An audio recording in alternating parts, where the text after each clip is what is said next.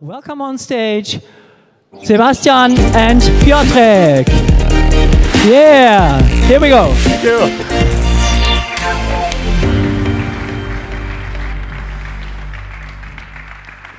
Thank you so much. I'm really, really happy to be here. And um, so let's talk about Neos and CK Editor 5 together with Piotrek. So um, I'll first talk about Neos, obviously, and then Piotrek talks about CK Editor because he knows way better than I do about that. So actually, where do we actually use CK Editor in Neos? If you take a typical Neos instance like, like this one, um, um, you have the, the, the, the, UI, which is a React uh, implementation, and uh, then you have your the part where the website is shown. And actually, we are only talking about this small part, so this part where actually you um, you edit your content day to day, day in, day out. And of course, in a typical website, this part uh, is actually rather big, and it's a time where lots of editors spend a lot of time in there. So that's why this component is so important for us. So let's quickly recap our editing journey in terms of technical architectures. So when we had the Ember-based user interface, we've used a different editor, a totally different technology stack. And uh, when we switched to CK Editor, um, or when we switched to React, actually we switched to CK Editor 4. And um, as Robert already mentioned in the keynote, it's actually uh, it, it worked really, really well for the user, but the integration code-wise was a bit hacky because um, CK Editor was not meant to be embedded in the way we do. So uh, it, it packed together the editing abstractions, the APIs, and the user interface into one big bundle. And actually what we wanted to have is, is like um, is, is uh, pick and match what we actually need. So as Robert already explained, we, for instance, we had to render the CK editor UI somewhere in a hidden div and uh, uh, just push it out of the display so nobody sees it because some functions were not accessible there. And we were really happy to to uh, watch uh, the space what the guys and around Piotrek were doing. Uh, by the way, he's the lead developer of CK Editor 4, uh, 5, so actually he knows best about this new architecture. And we were following that very, very closely because what they were doing there is actually um, separating the editing abstractions around all the browser incompatibility stuff, the APIs, and the user interface. So CK Editor 5 has a really clean API, it has clean integrations and a great extensibility base. And the nice thing is we can actually switch in the user interface. We can use the Neos user interface instead of the standard one, and that's what we actually want. So how can you actually extend uh, CK Editor? Did anybody try that before? Can I just see some hands? A few people, okay. Um, thanks. So let's let's walk you through on a really really simple example. Let's say um, I want to set a highlight class on my selection. So a pretty simple task, basically. I want to select something, I want to click a button, and I want to span class something to, to be seen. So in, in, in, in, in UI, you want to be able to select code. You want to click this button. Um, it should still be selected. You can want to unhide it again. And actually, this simple functionality um, is more complex than you think because uh, the button active state depends on the selection, for instance. You want to be able to deselect text again. You want to be able to select multiple paragraphs, and the system must do the right thing automatically. So it's way more difficult than you actually think. And um, to actually implement that, um, we need two parts. First, we need the CK editor integration, which is the main editing part, and there we need to do some st stuff. And second, we need to uh, change and alter the Neos behavior because uh, as you see there's this plus button next to the bold and italic um, up in the sidebar and this button is part of the Neos user interface so we actually need to add something there as well. So Piotrek uh, will show a bit about the Editor 5. Okay, uh, hello everyone. So uh, to be able to write uh, plugins for CK 5, first of all, you need to know a bit about CK 5 itself. Uh, so uh, the first thing that you need to know is that in CK 5, everything is a plugin. So even features such as typing or paragraphs are implemented as plugins. Additionally, um, plugins, the official plugins are implemented in a quite granular way. So for instance, the image feature is built out of image base, image caption, image styles, image upload, and so on. Uh, thanks to that, uh, you are able to just pick those plugins that you need or want and you know drop the other ones or implement the other ones. So it's a great flexibility here. Um, then, uh, what is a plugin in CKEditor 5? Uh, it's uh, either a simple class that extends the base plugin class, or even a simpler constructor function which uh, gets the editor as, a, as its parameter. And uh, in addition to, uh, to plugins being implemented in a really gra granular way, um, they are also split into parts. So there's the UI part and the editing part. Uh, the UI part implements things like buttons, drop-downs, balloons, and so on. And the editing part implements everything else. Um, and thanks to that, you can you know, drop the UI part and implement your own UI for CKEditor 5. And that's actually what Neos uh, did, uh, because it ships with its own React-based UI. Uh, so in this presentation, we'll focus only on the editing part because that's, that's what you need. Um, so yeah, but before you'll be able to talk about implementing uh, a plugin, let's talk about uh, CKEditor 5 architecture. So the first thing is that CK25 implements an MV whatever uh, design pattern. Uh, so it has this uh, abstract data model. Uh, it's a tree structure, tr structure just like uh, the DOM, but it's uh, quite different from the DOM. So for instance, inline styles such as strong, uh, italic, or links are not represented as separate elements here, but rather by attributes of text nodes. So in other words, in CKEditor 5, text nodes can have attributes just like elements. And uh, then we have the view, and it's another abstract structure, so it's still not the DOM, um, but the view is much more close to the DOM uh, than the model. So here you can see that there is a strong element representing the uh, the bold and a much like common uh, naming for the elements. Um, and finally, there is the DOM. And the DOM is generated automatically by CKEditor 5, so you don't have to worry about that. And at this stage, CKEditor 5 adds uh, things like uh BRs in empty paragraphs, so they have non-zero height because they would have a zero height otherwise and rendering subsequent spaces as a combination of uh, non-breaking spaces and normal spaces. And as a plugin author, you only live between the model and the view, so you really don't have to care about the DOM and its quirks, and it makes implementing features much easier. Um, then how does the data flow look? So uh, the user interacts with the DOM, for instance, clicks a button, uh, you listen to this event, you change the model, uh, the model is converted to the view, and then the view is automatically rendered to the DOM. And that's it. Um, so once we know that, uh, how can we implement our first feature? Uh, so there are three parts that you need to implement, the schema definition, converters, and commands. Uh, so by using the schema, you define uh, what kind of elements and attributes are allowed in CKEditor 5, uh, CKEditor 5's model. So here we see a myblock element, which is allowed in a root element and in the section element. Uh, and, in, and, it also allows a text alignment attribute on, on itself. And in the other example, uh, we are extending a text node. So we are saying that a text node can have attribute my highlight.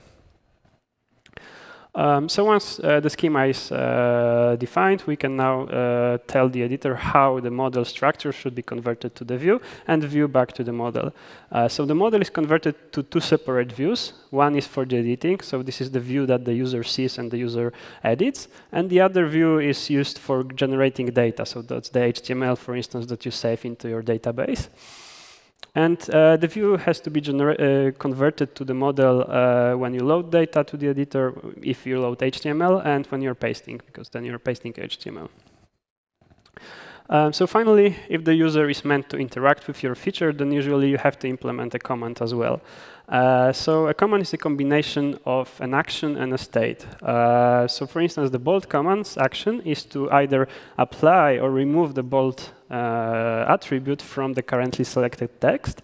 And it's based on the state of the command, which is that either the command is on when the uh, bold is already applied here or not. Um, yep.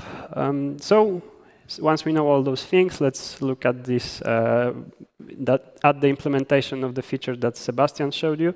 Uh, so the important lines are between uh, line number 6 and 24. So in line number 6, we tell that uh, the uh, text nodes in the editor can have attributes highlight, and then we con uh, configure the conversion from the model attribute called uh, highlight to an element in the view called sp uh, span with some classes and inline styles. And finally, we uh, create a command called highlight, which applies and removes uh, all those uh, attributes. And that's it that you need to know about CKEditor5 here. So what we got by now is a neatly bundled package called a CKEditor5 plugin, which is the single class you've just seen. And it, now we need to talk about how can we enable that one, how can we configure that one, um, and connect it with a button. And that's the next step we need to take. So let's look at what we actually need to, to integrate Neos. And as it's JavaScript code, we need some package JSON file. And um, that's basically just here for completeness. Um, you depend on the Neos UI extensibility package. Um, there are some build scripts which these are which these are providing, and we need to depend on some CKEditor5 dependencies. And that's basically it. Then you need an index.js file. And this index.js file really only consists of this single line saying require a manifest. So what actually is that manifest?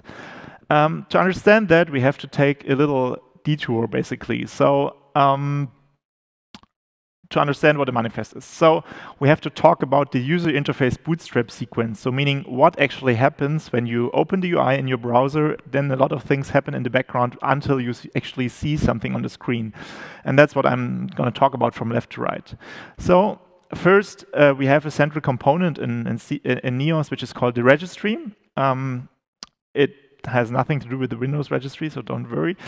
Um, but basically, it, store, it stores configuration um, of the Neos user interface at a central place. So it's a big, big nested JSON structure. That's basically how you can imagine it. And the way we work with it is that um, when Neos is started, the first thing which happens is the core manifest is loaded. So meaning the manifest is actually the file where this registry can be changed, can be mutated, can be updated. Um, so the core manifest sets up the basic parts of the user interface, sets up the basic buttons like bold and italic and so on. And then you can, uh, with the plugin we've just created by, by the two files before, uh, which we've just seen, or the, the plugin we are about to create, actually, this will be loaded after the core manifest. So um, actually, the, the um, plugins can adjust the registry in any way they like. So they can remove things, they can add things, like in our case, we can add a button, we can add the CKEditor 5 plugin. And then something really important happens because this registry is frozen, meaning at this point in time it will become immutable, and then actually the user interface will start up and start reading from the registry. So um, this looks like a really long process, but actually this, what you see here, this happens just in a matter of a few milliseconds directly in your browser every time you just open the UI. So to recap, the manifest fills the registry at the user interface startup.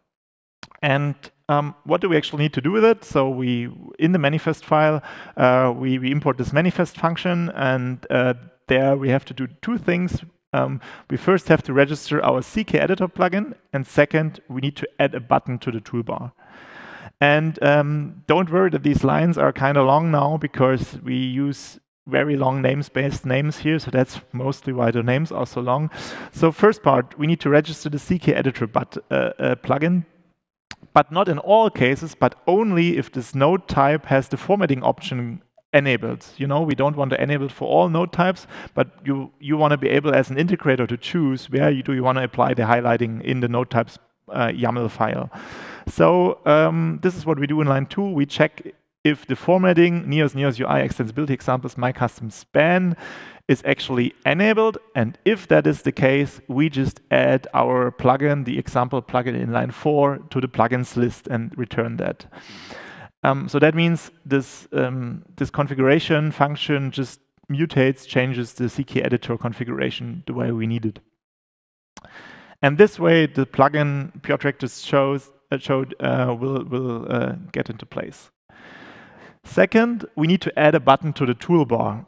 So we take another registry for that. Now we take the CKEditor 5 rich text toolbar registry, and there we have to, in line 8, we add the, the React component to it, and then we can set some properties like uh, the active state depends on the output format of the highlight command. It's only visible if this formatting option in the, in the settings is set. Um, we need to define an icon and a tooltip and the button itself is rather simple. It's a really small React component um, where we where we um, render an icon button from Neos. And as soon as you click it, we execute this handle click function uh, where we dispatch this highlight command to CK editor, which in turn will do all the hard work. So we need this and together the example plugin which uh, Piotrek just demonstrated.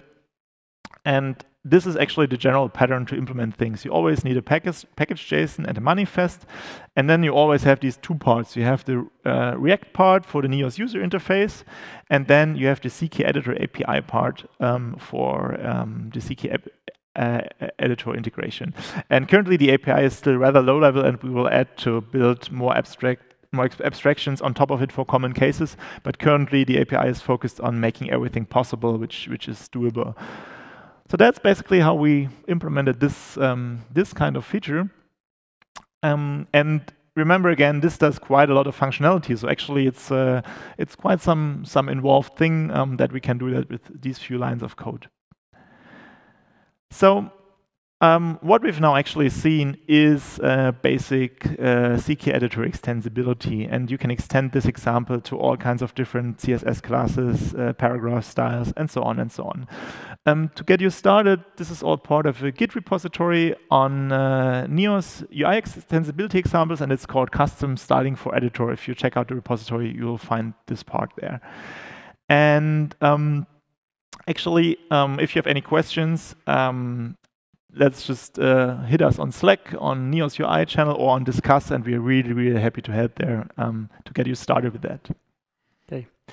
Um, so we've showed you how you can extend the existing CKEditor 5 integration in Neos. And of course, we covered only the real basics. So if you need to build something more complex, you'll have to refer to either CKEditor 5 documentation or Neos documentation.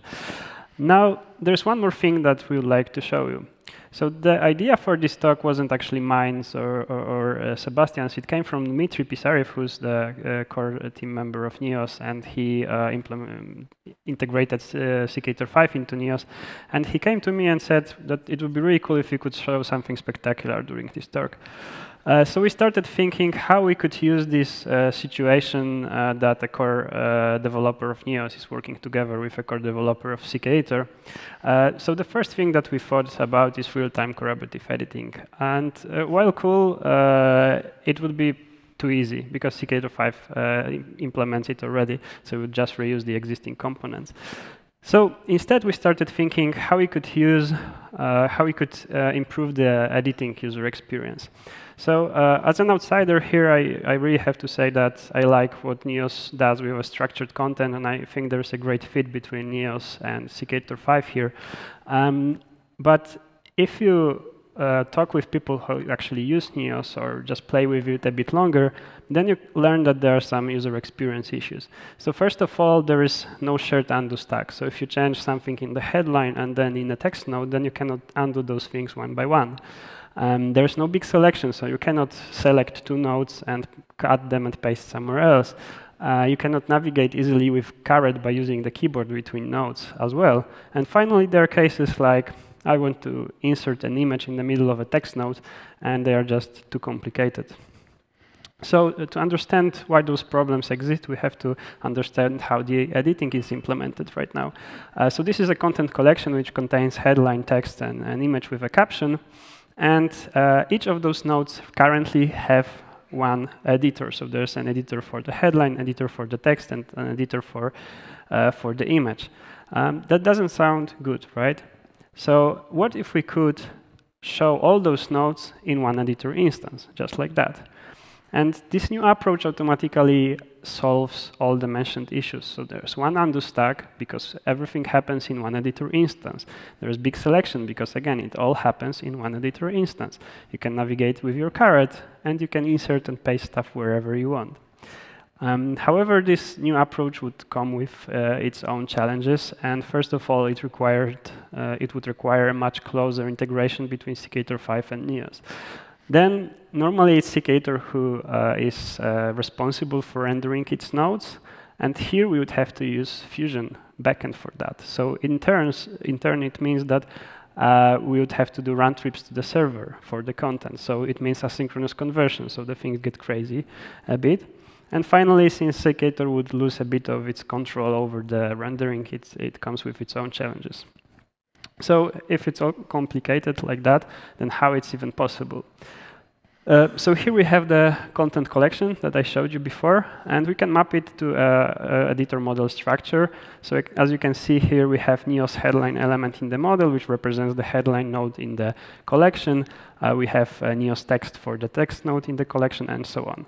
Additionally, the contents of these uh, nodes in the content collection is directly nested in CKEditor5 elements as well. And thanks to that inlining, we'll be able to easily you know, select things and navigate through that.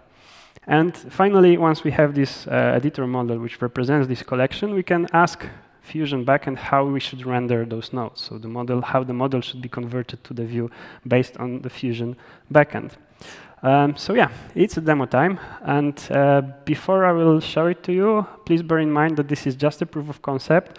Uh, it was built outside of Neos for, for the time constraints. Uh, it's not meant to showcase the UI, so it's pretty ugly. And uh, yeah, its main focus is on how a structured content could be edited in CKEditor 5. Structured content just like Neos' structured content. So uh, some code first he, the first thing that we need to do is uh, we need to tell the editor uh, how a certain node has to be rendered to the view. So here we have this text node definition, which has this render function. And uh, the render function returns a section element with a div inside, and this div is the editable part of this, of this node. Uh, you can imagine here this is this is completely synchronous code, but we could you know make a round trip to uh, to Fusion uh, here. Mm, then we have a bit more complicated implementation. The, the major difference here is uh, that the render function uh, accepts properties, and you can use those properties, so properties of an existing node, to render this template. Um, so once we have those definitions, we can actually load data to the editor, and this time it's not like a blob HTML. Uh, it is uh, it consists of an array of, for instance, here two uh, two nodes. So there is a text node with some UID and the contents of its editable part, which is a HTML blob here. And then there is uh, the image node with UID, its editable part, so the caption and its properties. So yeah, how it uh, how it looks. So this is the actual demo that I implemented. It was meant to look a bit like Neos, but of course it doesn't. Um, so on the left-hand side, you can see the content structure, so a list of nodes uh, that are represented by the editor. And of course, in the center, there is this editor instance. And uh, so yeah, if you move your caret through the editor, you can see that the uh, nodes are being highlighted. Oh, it doesn't play here. Uh, are hi highlighted on the left, so you can see how the mapping goes. So there's video selected now. Um, yeah, if I edit some node, then it will blink in the content structure because the editor notifies the content structure that the node has changed, so it has the new editable uh, content.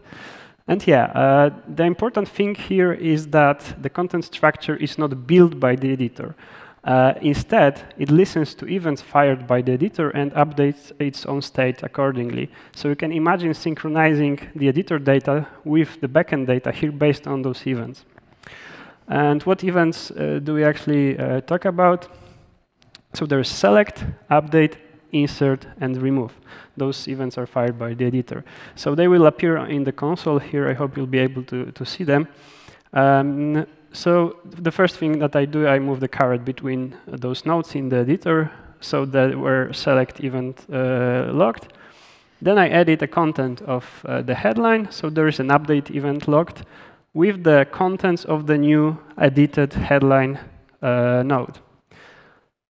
Then I type some things, so there, there's a couple of update events.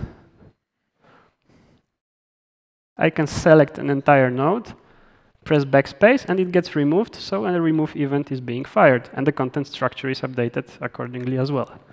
And finally, when I, when I undo, the node appears back, so there's insert event because we created this node. Um, yep. And you can imagine here that you know the backend would also listen to those events and, and save it to the database. Uh, so another one, caret navigation. So you can use your keyboard to move down. You can select an image as well. You can move back. You can use your mouse as well.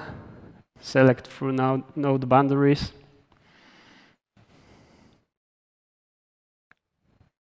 You can select two nodes as well, cut them, and paste them somewhere else.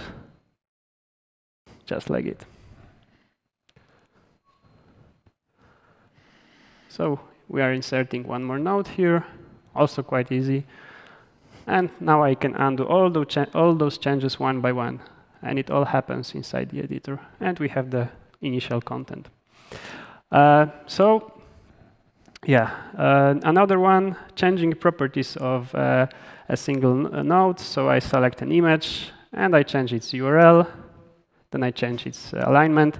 And it's not like CKEditor that defines how it should be rendered. Now it's the Fusion, let's say, backend asked how this node should be now rendered. So I deleted this node, and then I can undo all of that as well. And the last one, uh, as promised, inserting stuff in the middle of a content.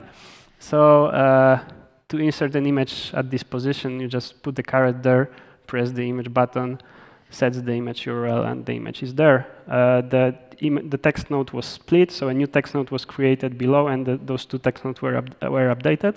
I can also uh, delete some uh, or cut some uh, video and paste it in this text as well. You can also see that the content structure got updated to reflect that. So yeah, those were all the demos.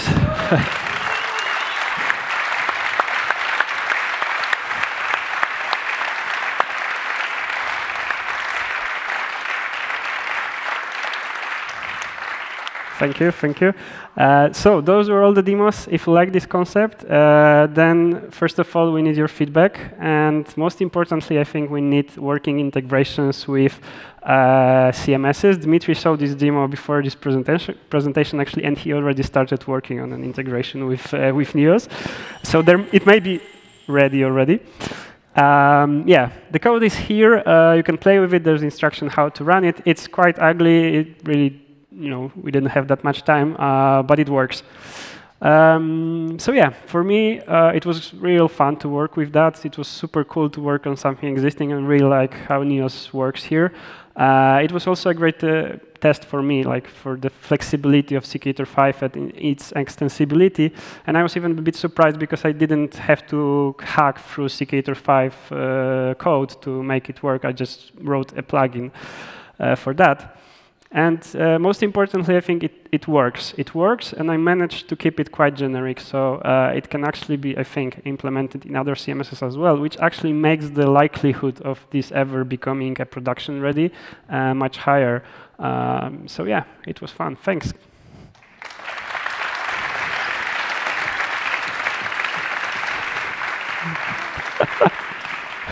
yeah, actually, I think uh, that's when I saw that, I think Tuesday last week, I was really stunned by that and was like, whoa, that's really crazy and really nice. And um, I had immediately some ideas what I want to build with that. Um, I think if we would, if we were able to integrate that, we it would allow us to create new content without any background round round trip even. So stuff like more going more into the direction of offline editing actually is would be a possibility with that change. So um, and, and if we do that, we could reduce, we could dramatically reduce the wait times where the user waits on its interactions, right? The user currently clicks add, um, he chooses something, the page reloads or a part of the page reloads. We need a background round trip for these parts. And actually, we could get rid of that for many parts. And obviously, actually, it's not it's not easy to do that. Um, so as you all know, uh, we use Fusion in the backend for rendering things, and um, I think my personal idea, if, if, we would go that direction, actually what we would need is we would need to um, um, pre-render Fusion elements basically with placeholders so that we can send that to, to, to CKEditor. That would be one option, for instance, so that we can configure CKEditor correctly. But also, if you, if you have different ideas of how to approach that, of course, that would be really, really valuable. So it's it would be quite a challenge, but um, i would be really glad if we would make it to, to some part. Um, sadly, I personally won't be able to pursue that further right now because uh, I have another talk tomorrow. I mean, this talk is finished, but I have to work on the topic after the talk as well. Me, me too. there's some work to be left. And um, what what what I liked so much, it it's I think extremely impressive what uh, what and what you can build up when you join forces with different open source projects. So working actually we didn't meet before uh, tomorrow uh, this morning actually, so we just had some hangouts and so on, and it was just really, really frictionless. It was. I learned a lot about CK editor, and I think you also learned yeah, a tremendous true. lot about Neos.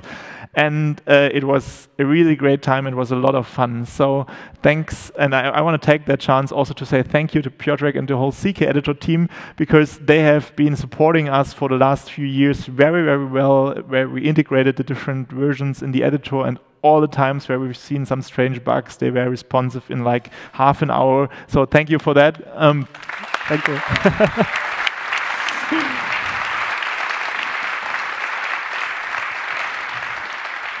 right. And if you have questions left, then we can meet at the speaker lounge uh, in a second.